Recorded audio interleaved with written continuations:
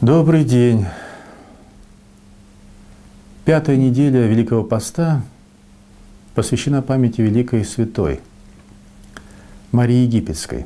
И это побуждает поговорить о покаянии.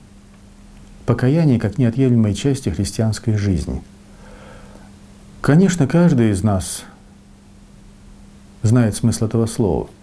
Каждый из нас просил прощения у своих родителей, когда не слушался, у своих близких, когда чем-то их огорчал, в сокровенности души, конечно же, у Бога, потому что человек много согрешает. Каждый из нас так или иначе произносил это слово «прости».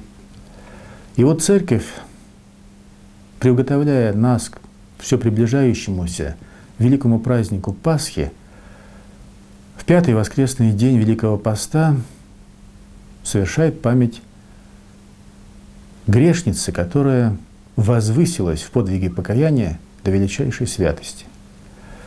Житие Марии Египетской очень трогательно. Она была блудницей, очернившей свое тело и душу в многих согрешениях, привыкшая жить в пороке, нечестии. И вот однажды она, увидев как люди во множестве идут в порт Александрийский, пошла вместе с ними, любопытствуя, куда идет эта народная толпа. И узнала, что люди направляются в порт, чтобы сесть на корабль и отправиться в Иерусалим на Пасху, на праздник Пасхи. Она взошла на корабль вместе с ними, достигла Святой Земли – и когда захотела войти в храм воскресения Господня, вдруг не смогла. Какая-то сила отбросила ее. Она попыталась еще раз, еще раз, и не смогла взойти по ступени этого храма внутрь. Не смогла пройти внутрь. И вдруг ее сердце поразило покаянное чувство. Она поняла, что препятствует ей приблизиться к святыне этого места, запечатленного –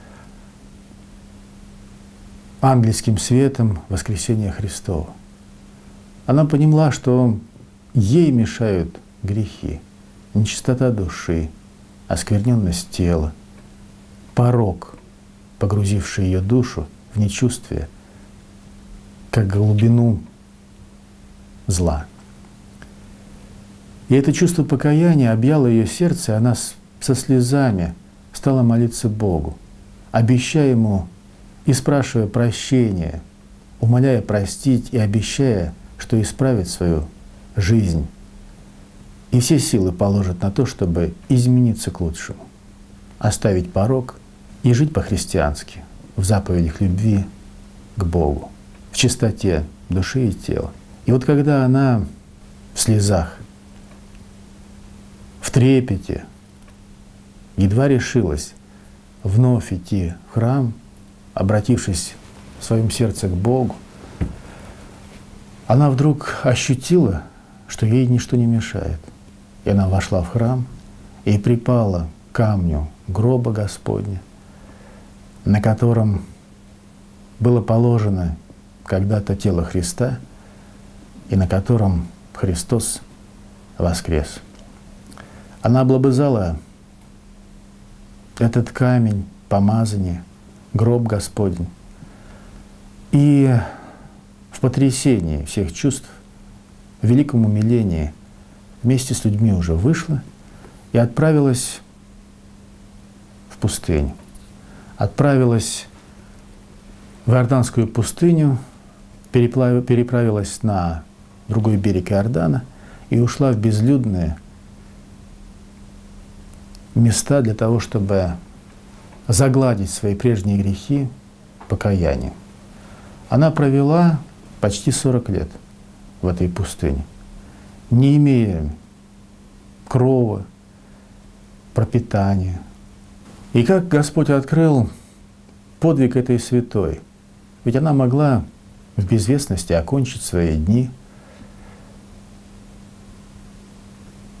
Преподобному Герасиму иноку монастыря древнего и славного на Иордане было видение, что он должен пойти в пустыню, и там он встретит жену. И вот, выйдя в пустыню, Герасим увидел не столько человека, сколько тень. Настолько была измождена плоть преподобной Марии. Она опустилась бежать от него, а тут умолял остановиться, потому что воля Божия была для него узнать смысл подвига этого человека. И тогда Мария сказала, брось свою мантию, потому что я женщина. За эти годы истлела ее одежда. Она была полима зноем, днем, ночью, страдала от холода, питалась только корешками растений, не имея ничего, никакого пропитания и буквально как птица небесная обретала то, что Господь пошлет. И поведала преподобному Герасиму свою жизнь, которая заключалась в подвиге покаяния. Я хочу сказать о том, что слово «покаяние» означает не охуждение самого себя. Точное слово имеет следующий смысл. Покаяние – это греческое метания, переведенное на русский язык как покаяние, означает изменение к лучшему. Вот этот подвиг покаяния и есть жребий человеческой души, идущей ко Христу. Мы должны не охуждать себя, мы не должны говорить о плохом, мы должны понимать, что мешает нам стать лучше, что мешает, что препятствует Богу помочь нам в этом делании. И поэтому, когда мы приходим к священнику и говорим о своих совершениях, о своих немощах, о своих недостатках, духовных недостатках, иногда пороках, мы просим Бога о том, чтобы Он превозмог косность наших сердец, помог нам ожить этой небесной, благодатной жизнью, помог исторгнуть из наших сердец плевелы страстей и зла, помог нам воскреснуть. И тот, кто на опыте знает, что такое покаяние. Ему не нужно много объяснять, как это важно. Потому что когда священник прочитывает разрешительную молитву, человек испытывает, облобызав крест, Евангелие, восклонившись из-под епитрахили, испытывает огромное облегчение и огромную радость, что означает свободу в жизни для Христа. Поэтому покаяние потребно каждому из нас. Поэтому и церковь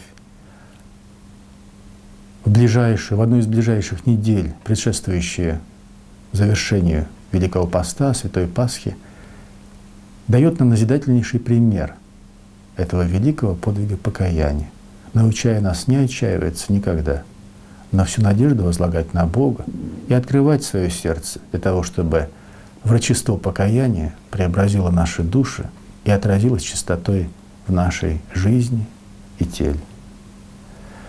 Поэтому покаяние есть неотъемлемая черта благочестивой христианской жизни. Поэтому покаяние есть врата рая. Поэтому покаянием, прощением взаимных обид, терпением немощи, а самое главное — любовью к Богу мы устрояем этот достодолжный путь и вратами покаяния входим в область торжества, веры и жизни во Христе.